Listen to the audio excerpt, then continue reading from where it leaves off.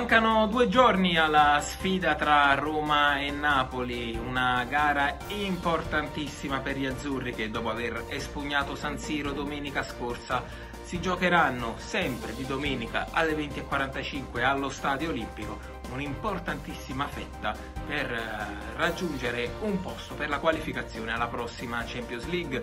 In vista di questa gara Gattuso recupera due calciatori fondamentali Costas Manolas che dovrebbe partire titolare in difesa accanto al, a Koulibaly mentre Lozano, anch'egli recuperato, dovrebbe inizialmente accomodarsi in panchina lasciando la fascia destra dell'attacco azzurro al man of the match della sfida dell'Olimpico, ovvero Politano.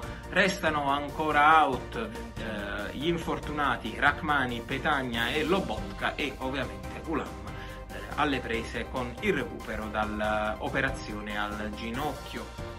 Ma intanto De Laurentiis non resta a guardare, sta già progettando il Napoli del futuro. Sul piatto ci sono due alternative eh, che variano in base alla posizione di campionato che raggiungerà il Napoli eh, alla fine di questa stagione. In caso di qualificazione in Champions League il sogno del presidente per la panchina azzurra resta Max Allegri, un allenatore che ha vinto tantissimo sulla panchina della Juventus e che De Laurentiis vorrebbe portare all'ombra del Vesuvio. E invece per quanto riguarda un'eventuale mancata qualificazione alla Champions League sembra che il favorito per la panchina azzurra sia De Zerbi eh, su Italiano e Juric ovviamente in caso di qualificazione all'Europa League e non alla Champions, il presidente è pronto a ridimensionare economicamente la squadra, tagliando gli stipendi e cedendo qualche pedina fondamentale su tutti Koulibaly.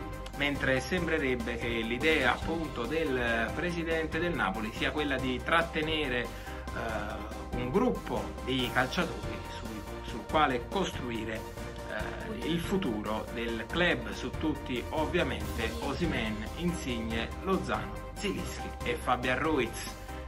Ovviamente il presidente De Laurentiis guarda anche al mercato in entrata, oltre ai tanti nomi che si sono fatti per il ruolo di terzino sinistro, due su tutti sono i calciatori che il club partenopeo sta seguendo in questa fase.